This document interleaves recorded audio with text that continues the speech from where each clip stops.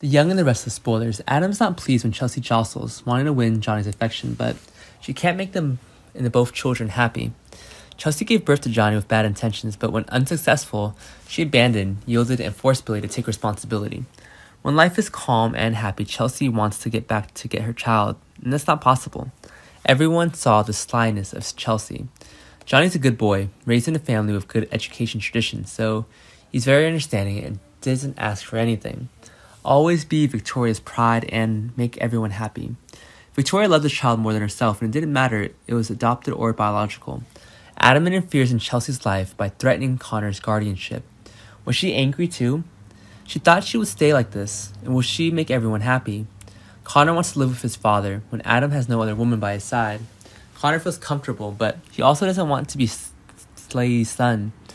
The boy is a rather selfish personality and lacks affection, so he always wants to have as much as love as possible.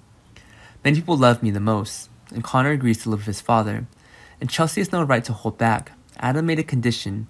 If he still wanted to get Johnny's guardianship, he would lose Connor's motherhood. She never got both, and Adam doesn't want his son to be hurt, so he's willing to exchange it.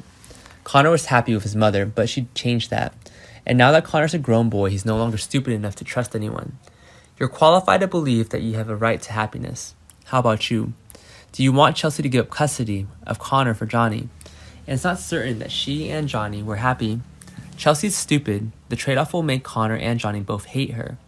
And she lost everything. Sometimes you have to know how to sacrifice things that don't belong to you to succeed.